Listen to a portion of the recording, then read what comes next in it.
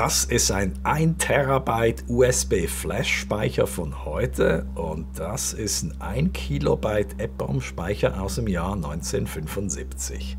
Wir rechnen, dieser Stick hier hat also eine Milliarde mal mehr Speicherkapazität als der gute alte Kollege von damals.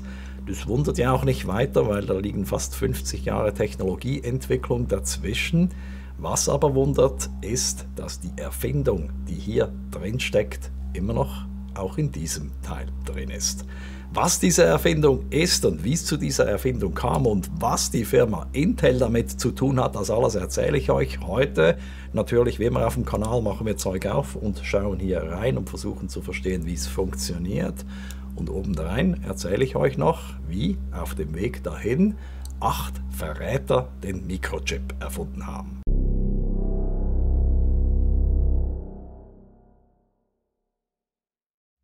Willkommen bei Enigmascope, Wissen jenseits der Schule. Auf diesem Kanal jagen wir Rätseln aus Wissenschaft und Technik nach und kriegen heute raus, wie aus Technologie, die noch auf solchen 1 Zoll Wafern in den 60er Jahren gefertigt wurde und EPROM-Technologie aus den 70er Jahren, wie daraus die heutige Flash-Technologie entstanden ist.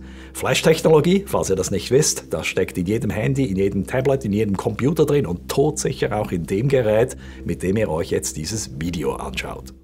Flash-Speicher kommt in allerlei Formen und Farben daher, als Karte, als Stick, größer, kleiner, dicker, dünner. Einige davon habt ihr vielleicht oder kennt sie zumindest. Gibt natürlich auch die ganz kleinen und die ganz fetten. Und wenn sie in PC eingebaut wird, ist es eine Solid-State-Disk oder SSD. Und so sieht dann moderner Flash-Speicher aus, wie er auf einem SSD-Modul hier ist. Sowas findet man in Notebook-Computern. Das sind die beiden Flash-Chips. Und das ist unser gutes altes EPROM im Keramikgehäuse. EPROM steht für Erasable Programmable Read-Only Memory. Das ist also nicht flüchtiger, programmierbarer und löschbarer Speicher. Weshalb wir den Chip hier sehen, hat was damit zu tun, wie das gelöscht wird. Gelöscht wird das nämlich mit UV-Licht. Total unpraktisch, das heißt, man kann den Chip nur löschen oder wieder beschreiben, indem man mit UV-Licht drauf scheint. Für uns hat das den Charme, dass wir reingucken können durchs Quarzfenster. Wir sehen auch die Anschlüsse, die Bonddrähte und den Chip. Also Speicher, Flash-Speicher, damit wir hier kein Durcheinander kriegen. Es gibt zwei Sorten von Speichern, flüchtig, nicht flüchtig. Das war schon immer so. Das war schon bei unserem guten alten C64 so. Wenn wir da reingucken, hier haben wir zwei Sorten von Speichern. Wir haben nämlich das RAM, das ist hier, das Random Access Memory, das ist der eigentliche Arbeitsspeicher. Funktioniert super, hat das Problem, geht der Strom weg, vergisst der Speicher alles. Deshalb hat es eine zweite Sorte Speicher, die ist hier, das ist das ROM, das Read-Only Memory. Und das behält, was immer da drin gespeichert ist, selbst wenn der Strom weg ist. ROM hat jetzt aber ein Problem. Das ROM ist nämlich nicht veränderbar. Das heißt, was da drin steckt, ist das, was bereits in der Fabrik reingeht und das ist ein bisschen blöd. Was ist heute in den Computern? Heute ist das ganz ähnlich. Heute haben wir nämlich das RAM drin. Das ist immer noch dieselbe Geschichte. Das sieht heute einfach eher so aus. RAM vergisst aber ohne Strom, was drin ist. Das heißt, da könnt ihr eure Apps nicht drauf speichern.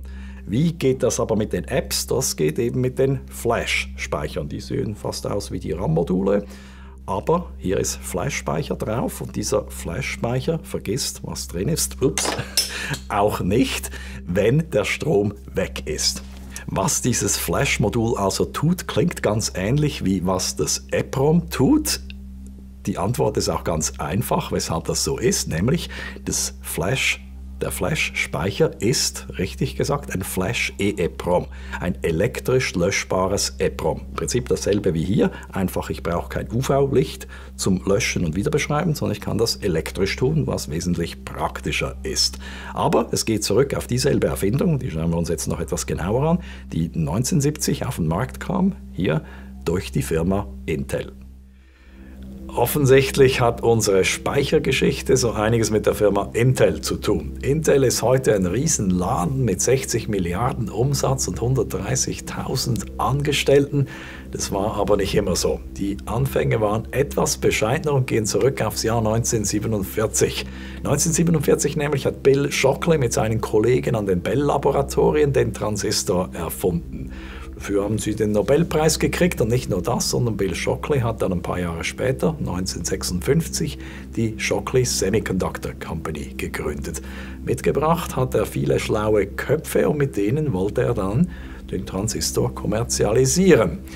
An und für sich eine gute Idee. Das Problem war aber, dass Shockley ein ganz schwieriger, toxischer Typ war. Der hat sich mit allen zerstritten und 1957 sind ihm acht seiner besten Leute davongelaufen. Shockley war ziemlich verärgert, nannte die Typen dann The Traitorous Eight, also die verräterischen Acht. Für Shockley war das ziemlich schlecht, aber das war dann eigentlich die Geburtsstunde des Silicon Valley, wie wir es heute kennen. Diese acht Leute nämlich, unter denen war Gordon Moore, den kennen wir vom Moore'schen Gesetz, und Robert Noyce, der hat dann nachher den Mikrochip erfunden. Diese acht Verräter haben sich einen neuen Geldgeber gesucht und haben ihn gefunden. Mr. Fairchild und mit ihm haben sie die Fairchild Semiconductor Company gegründet. Die haben den Mikrochip erfunden und den Mikrochip auf den Markt gebracht und in den 60er Jahren damit sehr erfolgreich geschäftet. Es ging alles ganz gut in den 60er Jahren für die Firma Fairchild. Die verräterischen Acht haben dort wunderschön gewirkt, aber einige von ihnen waren unzufrieden.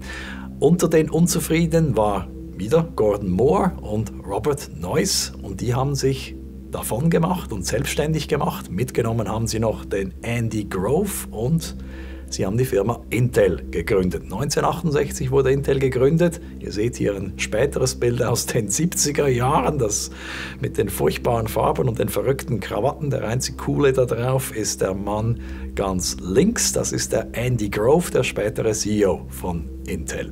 Dann ging es Schlag auf Schlag. 1969 kamen die ersten Produkte, das waren RAMs, also flüchtige Speicher. Und 1971 ist es dann passiert, das EPROM wurde erfunden und auf den Markt gebracht. Im selben Jahr, auch 1971, wurde auch der Mikroprozessor auf den Markt gebracht, also nicht nur Intel, sondern weltweit der erste Mikroprozessor. Und wer hat sie erfunden? Das war dieser Mann hier, Dov Frohmann. Bei Intel 1971 hat er Wege gefunden, wie man eine Erfindung aus den 60er Jahren, nämlich das sogenannte MOS Floating Gate, über das sprechen wir gleich anschließend, wie man daraus einen praktikablen Speicherbaustein, nämlich das EPROM, machte. Und so kam dann 1971 das erste EPROM auf den Markt mit einer Speicherkapazität von 2 Kilobit, also einem halben Kilobyte. Unser EPROM hier ist drei Jahre jünger, aber aus derselben Serie mit derselben Technologie und hat 8 Kilobit oder 1 Kilobyte. Da zoomen wir jetzt rein und schauen nach, was drin steckt. Und was das genau ist und wie es funktioniert, sehen wir in diesem alten Datenblatt von Intel. Wir haben also diesen 8 Kilobit Baustein und innen drin steckt, ihr seht hier das Gehäuse mit den Anschlüssen, steckt das hier. Funktioniert eigentlich ziemlich einfach. Man gibt nämlich eine Adresse ein, eine Speicheradresse, die wird dekodiert und dann schaut das Teil im eigentlichen Speicherarray, mit der Speichermatrix nach, was drin steckt und schickt diesen Wert raus. Simpel und einfach. Und so schaut es dann in freier Wildbahn aus. Der Chip ist eingeteilt auf zwei Speicherblöcke, die unteren 4 Bit, die oberen 4 Bit, das sind diese grauen Flächen, die wir sehen. Zwischen den grauen Flächen ist ein Teil des Adressdecoders und unten und oben dieser Flächen sind dann weitere Adressdecoder und Ausleseverstärker. Lustig bei Chips ist immer nachzusehen, ob irgendwas Menschenlesbares draufsteht und ja, tut's. Intel 1974 und der Typ ist der 2708. Ihr könnt ja auch gut sehen, wie das alles vollgepackt ist bis an den Rand des Chips. Überhaupt, dass wir da was sehen können, ist nur möglich, weil das uralte Technologie ist. Würde ich ein aktuelles Flash hier anschauen mit dem Lichtmikroskop, würde ich gar nichts sehen. Das ist alles so klein, das geht nur noch mit dem Rasterelektronenmikroskop.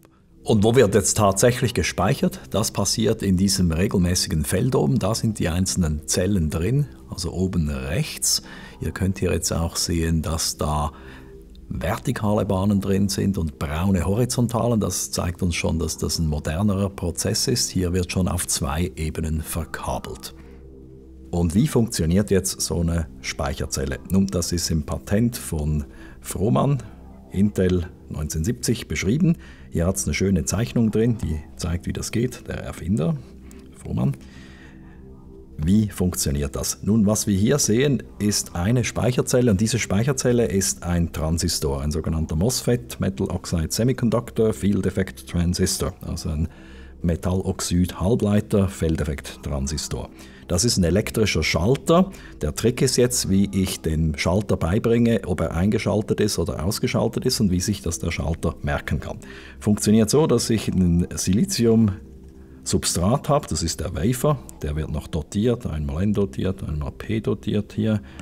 Dann gibt es eine Isolationsschicht drauf, das ist das hier, das ist Siliziumoxid, das ist wie Glas und dann wird das Ganze noch verkabelt, wird angeschlossen mit Aluminiumleitungen.